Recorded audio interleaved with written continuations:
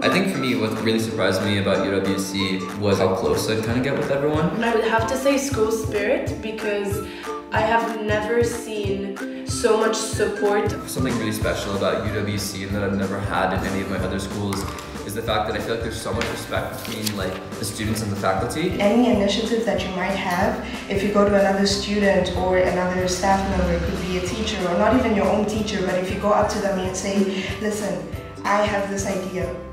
The first thing they'll tell you is go ahead, do it, make it happen. The second thing is the diversity. I have three roommates, one from China, one from Italy and Albania, and one from Italy and Morocco. And then there's me from Mozambique.